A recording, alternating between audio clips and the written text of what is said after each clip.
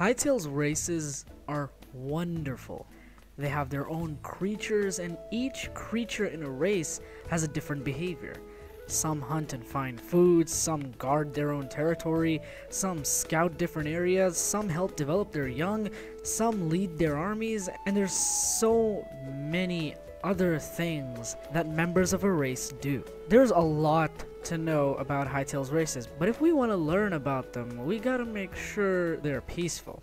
I'll be talking about Hytale's races from the friendliest to the most evil. Before continuing, only a small percentage of people that watch my videos are actually subscribed, so if you end up liking this video, please consider hitting the like button and slapping the subscribe button.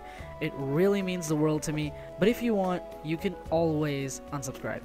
Also check out my Twitter, link is in the description. I also have a Discord. It is actually my first Discord, so it's probably not that perfect. So go check that out as well. Anyways, let's dive into the video. Let's start with the most friendliest race, and that is none other than the iconic, adorable tree people. The Kweebecs are a race of creatures that start their life as baby seedlings that sprout on their tree ancestors. They grow to become soldiers, tree singers, razor leaf warriors, etc. The Kweebecs are mostly a peaceful race. They love nature and everything about it. They live under trees. Kweebecs are kinda like plants because they survive using sunlight and water that is taken up by them through pores under their feet. They have one main enemy, the Trorks an evil race that just wants to kill Kweebecs for some reason, and the Kweebecs try their best to protect themselves. These reasons are why I think Kweebecs are the most peaceful and adorable race in Hytale. A little less friendly race is the Klops. These one-eyed creatures have their own life, living in their cozy hobbit hole. Hobbit hole. The Klop has a totally normal house with a, with totally normal rooms and totally normal household stuff, and yeah, and, and even a totally normal face, that's for sure. They are a seemingly neutral race. You can see in the concept art that there is a sword in the cellar. This shows that he doesn't like people busting into his private property. That's what makes them the second friendliest creatures for me, because they aren't that friendly. Moving further on the scale, we have the Pharons.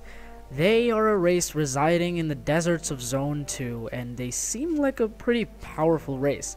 These Pharons are the enemies of the Scaraks, because they were enslaved by Scaraks long ago. The reason they are the third friendliest creatures is because they are way too cautious and they might even attack the player if they feel a little defensive. That's not exactly friendly, but they are trying to protect their families from danger. So they're not exactly that evil. They're just protective. So third most friendliest race for me. Next on the scale are dinosaurs. Now I'm including dinosaurs because there's something about them that really makes me want to put them on this list. By dinosaurs I mean the T-Rex, the Raptor, and the Dimetrodon. Sorry, Triceratops, you're a herbivore and you are not violent enough to be on the list. I'm so sorry. These carnivorous lizards live in the tropical jungles of Zone 4.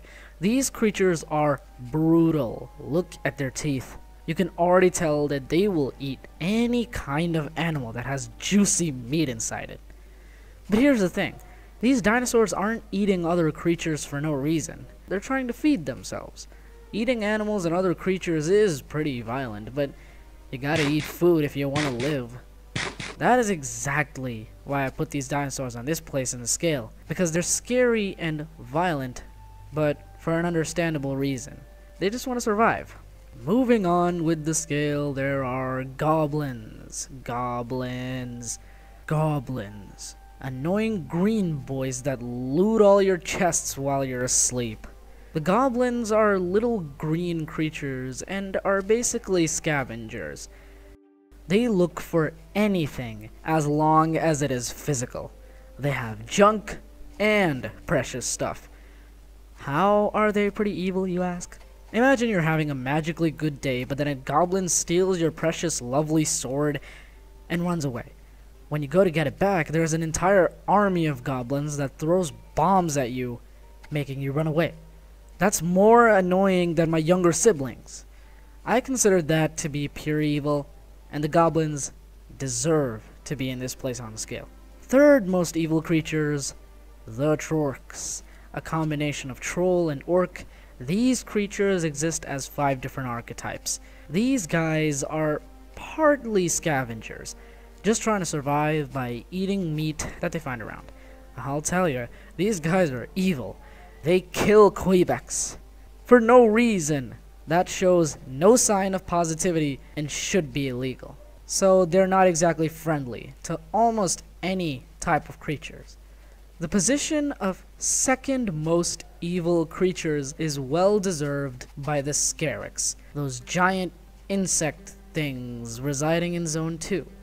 These things are born as larvae inside eggs that look kinda like Mandalorian Kragna eggs. Their main rivals are the Pharons, who they imprisoned long ago. They live as a society, which is kinda impressive for a bunch of giant insects. These bugs are mainly focused on the development of their military and riches. You can see that for yourself in the concept art.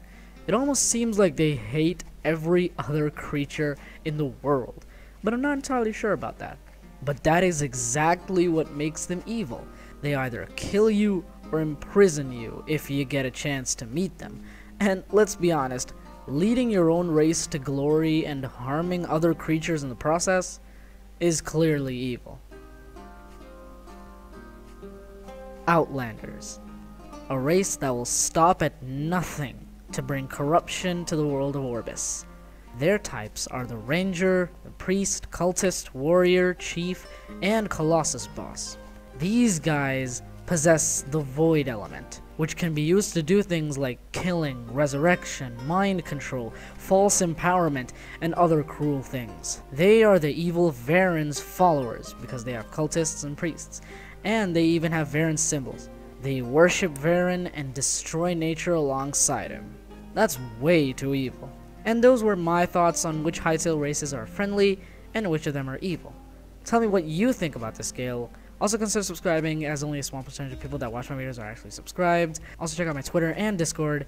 Thanks so much for watching this video and I'll see you in the next one.